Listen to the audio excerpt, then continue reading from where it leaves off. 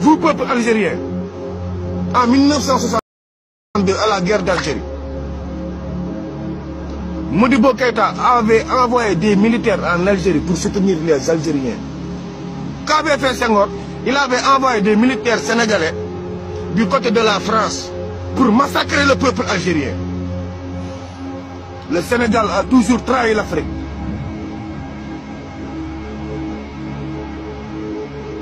Sénégal, c'est le moment ou jamais de rentrer dans l'histoire. Là où le blanc a fait échec, il n'a pas pris le Mali, il n'a pas pris Niger, il n'a pas pris Guinée, Conakry, il n'avait pris qu'une seule ville, non, île, île de Sanguinieri.